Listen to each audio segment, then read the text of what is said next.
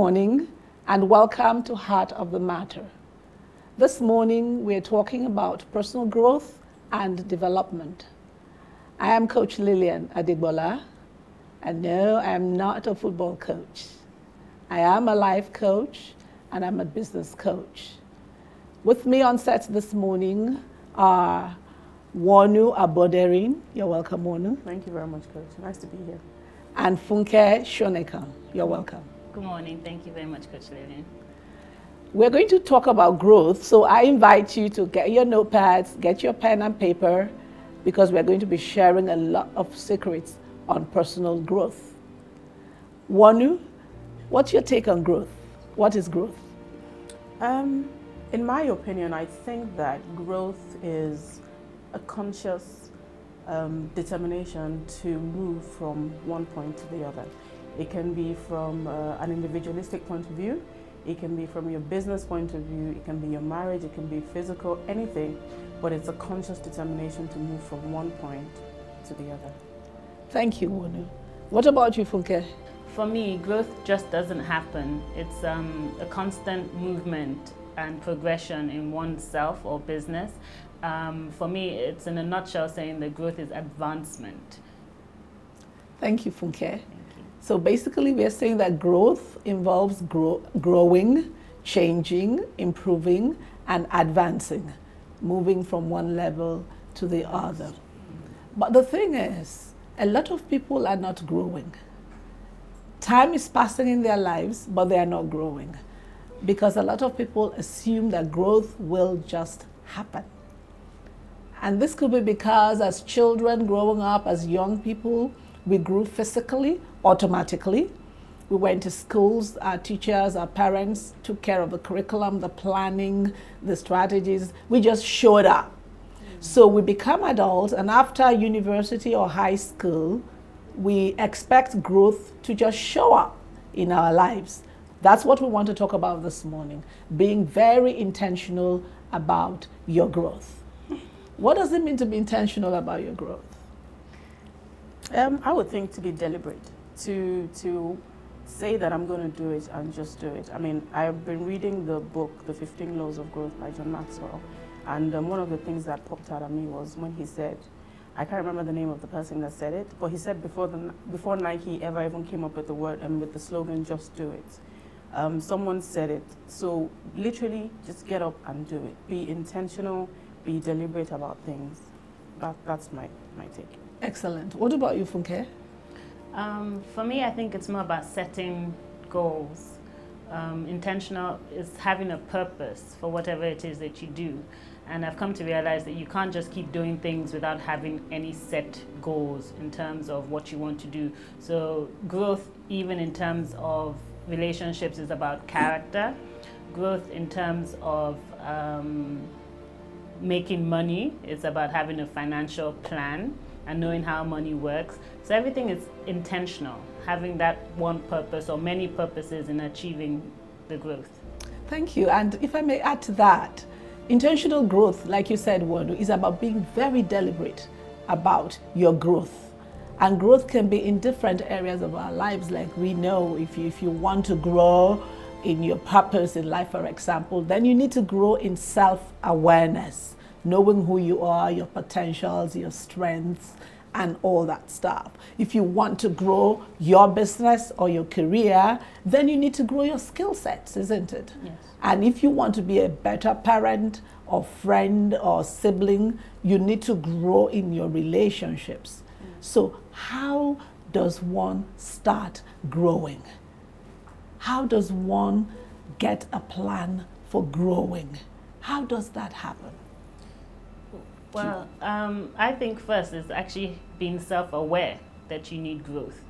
Mm. Um, in order for you to grow, you need to understand who you are as a person or as um, your business, for instance. And from the self-awareness, it kind of drives you to which areas it is that you want to work on. Um, so self-awareness, I think, is the first part of the process of growing.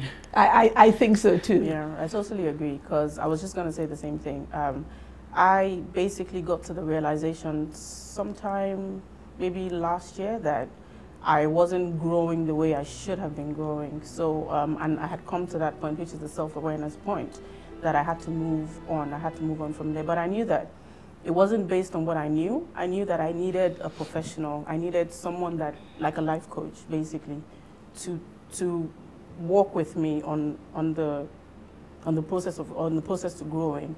So um, I had arrived at the point of self-awareness, and I decided that you know what, in terms of my business, in terms of my personal you know, just personally, I needed to grow. And that's basically how it started as well. And that's correct because without that awareness of a need to grow, you're not going to follow certain other things that you need to do. So self awareness is critical, is the first thing. That realization that I could be more than I am, I could do more than I'm doing, I could have more than I'm doing. But becoming aware of that now creates a lot of problems for some people they're aware that they should grow, but perhaps they don't know how to grow. Or they think they need some other things before they grow. For example, someone wants to grow their business and they think they money. need money. Yeah. That's usually the thing. Mm-hmm. They think I need to have money to make, to, money. To, to make money or to grow. And that brings me to the issue of belief system. What we believe. In talking about intentional growth, we need to examine our belief systems. Because often people have limiting beliefs that stop them from growing. So, for example, they make an assumption like we just said, I need money to grow. Mm. But that's not true.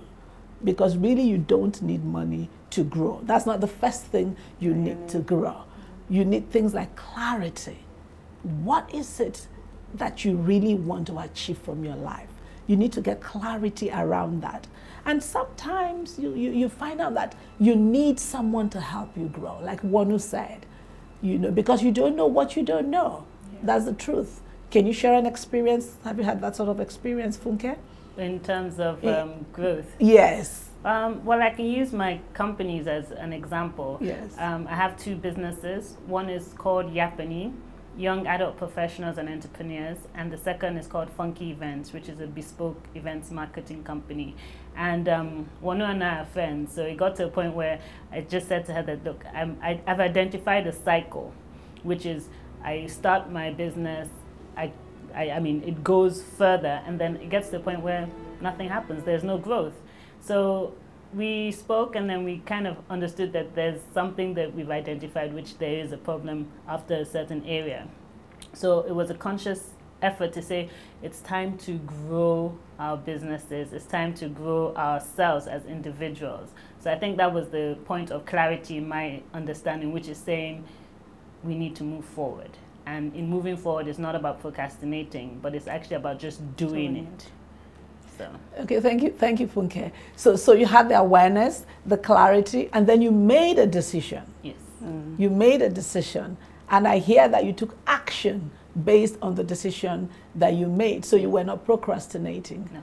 So, so basically, to grow, we need to become aware that we need to grow. That's self-awareness. We need clarity in what area we want to grow. We want to make a decision that we are going to get the help we need to grow. And then we want to take action to grow. We're just going to do it. Yeah. Whether we're afraid, whether we think we cannot do it, whether we think we don't have the time or the money. Those are some of the things we need to begin to grow intentionally. All right, we're going to take a break here, and when we come back, we'll look further into the points we raised. Watch your favorite Heart of the Matter episodes online at www.theheartofthematter.tv. Also, check out exciting behind the scenes photos. Leave your comments and like us on Facebook.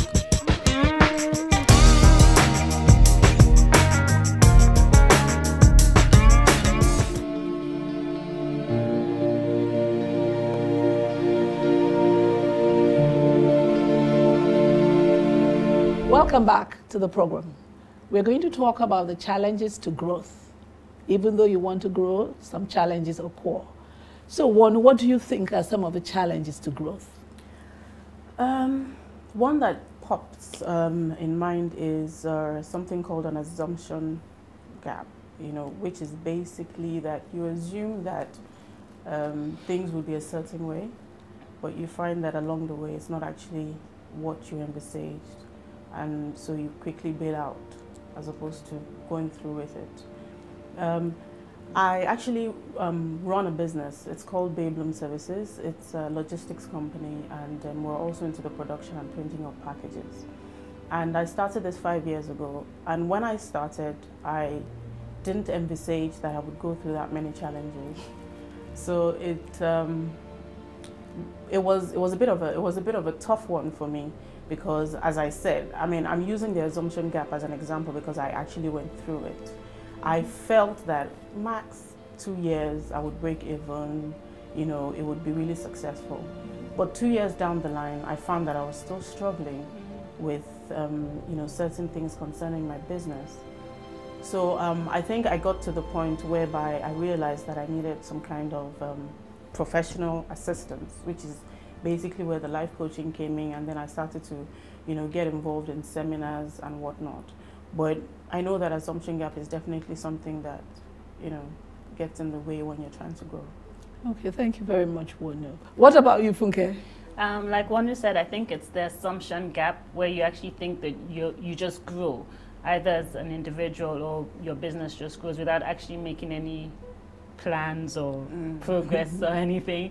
And then um, the perfection gap, whereby um, you just feel that uh, everything has to be right and the timing has to be right. So it's a mix of assumption, perfection, mm-hmm. and timing, where all this together is a major challenge because I, it's not a race. So we just have to realize that you have to take things bit by bit, slowly, and um, I guess just do it. You know, however it it takes you or how you manage it. I think it's just building up of that understanding that it's a slow, gradual process, mm-hmm. but you will get there. Okay, thank you both of you. What I hear from you is that there's, there's an assumption growth that stops people from trying, from even starting to grow. They assume that growth will just happen. Yeah. For some others, the challenge could be they don't know how to grow. So they know they need to grow, well, how do they start growing? They don't know. For some others, they want everything to be perfect. They want to have all the money, they want the business to be well set up before they even try to do anything. There are some other people that are afraid, fear. They're afraid of failing, they're afraid of making a fool of themselves, they're just afraid to do anything. And in the course of coaching so many people, I find some people are even afraid of success. So they don't take the step that they know they need to take to grow. Mm. Have you experienced any of the other points? Um, I have experienced yeah. um, the I, I, the fear of um, uh, you mentioned the per, I think it's the perfect the perfect gap, mm-hmm. which is basically I, I would I would say it. I used to mm-hmm. say that oh I, I can't make money. I need I need money. I, how am I supposed to grow my business if I don't have money? You know, so the realization, the penny finally dropped uh, a few years after when I realized that you're not going to make money if you keep making excuses. Yes. So um, I think from the point where I realized it, then I basically started to work in the other direction. Mm-hmm. And look at me today. well, well done, well done in your business. Because I coach you, Wonu, yes, and I know we've been on a journey. Uh, these these challenges stop people dead in the track of growth you know. But I want to encourage you, viewers, no matter what the challenges are, the fears you face, sometimes you think, oh, I can't do this, I don't know how to do it. I really want to encourage you to step out there and do it. Find the help that you need. Join a class, come for coaching, masterminding, read, go for seminars. Just do it. I also want to talk about doing things afraid. Because fear is the greatest challenge people have when they know they need to grow. And the only thing I can say is do it afraid. Just do it. We're going to take a break now. And when we come back, we'll talk about the laws that govern growth, some of the laws, because there are laws that govern growth. Watch your favorite Heart of the Matter episodes online at www.theheartofthematter.tv. Also, check out exciting behind the scenes photos leave your comments and like us on Facebook.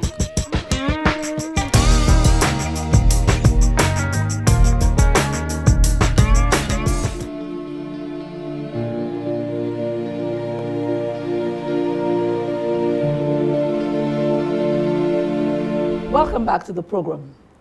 Now we're going to be talking about the laws that govern growth. There are laws that govern growth. My mentor and friend, Dr. John Maxwell, wrote an incredible book, The 15 Invaluable Laws of Growth. I suggest you get that book. There are laws that govern growth, you know. And the first law of growth is the law of intentionality. What does that say? Basically, that growth doesn't just happen. That's the law of intentionality. Growth doesn't just happen. You have to make it happen. You have to plan for it. You have to take the action. You have to do whatever you need to do for growth to happen. I also like to add that growth doesn't just happen except your weed. Think about a garden, a beautiful garden. You don't see the beautiful flowers coming up and the garden looking so beautiful without a lot of time, planning, attention. It's only the weed you see springing up all over the place, and we don't want that. So, if you want the garden of your life to be beautiful, if you want your growth process to be beautiful, then you have to be intentional, very deliberate. Get a plan and work your plan. Then, the second law of growth is the law of awareness. That's the second law of growth. The law of awareness. And the law of awareness simply says this you have to know yourself to grow yourself. The law of awareness, it says, you have to know yourself to grow yourself. What is it saying? You have to know your strengths, your weaknesses, your, your, the things that inspire you, your areas of interest, your potentials, and all that. Because if you don't know all of this, then you're not going to know which direction to grow in. What, what, what, do you, what is your take on that? I totally agree. Yes. Um, you need to know yourself. And um, what I used to do, I know my strengths and I know my weaknesses. But because of the kind of person that I am, I'm, I'm not the type of person that would give up easily on things. So what I would do in the past, or what I always did in the past was, I would focus on my weaknesses and try to strengthen my weaknesses, totally ignoring my strengths and I found that um, I, I, it wasn't easy for me. I wasn't mm-hmm. really growing. So um, in the process of reading all these books and just going on like a self-developmental journey, I realized that you need to focus on your strengths, sharpen your strengths, hone your strengths, and then just then you would find that it's not so difficult growing, especially in in the path or in in whatever field it is that you're you're doing. So um, that's what I basically started doing. I focus, I've totally just looked away from my weaknesses and I focus on my strengths. And it's, I found that it's relatively easier in terms of running my business and just relating with people. All right, thank you, Wonu. You know, it's funny with Wonu's own, I'm actually the opposite of her, which is uh, in the past when she was focusing on her weaknesses, I've always in the past focused on my strengths and um, realized that okay, there's nothing wrong with having weaknesses, but I always put it at the back of it saying I'm going to keep moving with my strengths. However, with that, there's also a fine balance that you have to find um, in the sense that now that I know who I am and I know my strengths, those weaknesses need to be developed to an extent. So I find that having to collaborate or working with other people, you find that you can actually achieve more. Um, I can give you an example where I'm a strategist, I'm an implementer, I'm a doer. On the other hand, my sisters or my friends could be thinkers. They don't do. So working with someone who is a thinker is the best collaboration because they think and I do. And so you, yeah, so it's sort of a synergy yeah. where yes. one person is thinking, one person is doing, and things are getting done. And, that's great. And that's really what it is about because every one of us has strengths mm. and then weaknesses. Mm. But really, we, we don't want to put all our effort in our witness, in our weaknesses, because then we're struggling. Yeah. We're putting out so much energy, so much resources, and we're struggling. Better to focus on your strengths, grow your strengths, and collaborate with other people that are strong in, your, in the areas of your weaknesses, and you will find that you are achieving more mm -hmm. with the synergy that you create there. Now, the third law of growth that I want to touch on today is the law of the mirror. The law of the mirror simply states that you must see value in yourself before you can add any more value to yourself. The law of the mirror. Mm-hmm. You must see value in yourself before you can add any more value to yourself. Now, this is talking about self esteem issues. This is talking about how you see yourself, your sense of self worth. If you feel that you're someone who's, I'm no good anyway, so why bother? But if you see something good in yourself, then you are most likely to want to make it better. Mm-hmm. If you don't think you can succeed, then you're not going to make the effort mm-hmm. to succeed. And now, this is where a lot of people struggle in this area because their sense of self worth and self esteem is not something that they have developed as adults. It's something that starts from childhood, where your external environment, your significant others have created your sense of person, your sense of who you are as a person. So, what can you do as an adult? Self awareness again, in discovering yourself, looking inward, as you begin to find that, oh, you have low, low self esteem mm. and all that, you can change that the way it was formed. You can change that. If you can't do it alone, sometimes you do need professional help to help you. But you can just start by changing the way you think about yourself, mm -hmm. by realizing that every single person has great potentials within them, yourself included. Mm -hmm. You have strengths. Look for those strengths. Look for your hobbies, the things you like to do. And really, if you must, get help to do it. Because if you don't think you're worth it, then you're not going to invest in yourself to grow. You have to believe that you're worth it. You have value, you're a person of value. And then and only then are you going to invest in yourself to begin to grow. So, um, Wonu, any final comments on intentional growth or your thoughts? Um, I would I would just say to um, the people watching that um, this this life that we live is, is the real one. You know, I've, I've read it. it. We're not. This is not a rehearsal. This is the real thing. So, um, and time is of absolute value. So if we're going to, if we have decided that this is what we want to do in life, or if you have found what you find, what, what your strengths are, then I would advise that you be intentional about it. You be deliberate about sitting down, making a plan, actually actualizing the plan and doing it because time is of essence.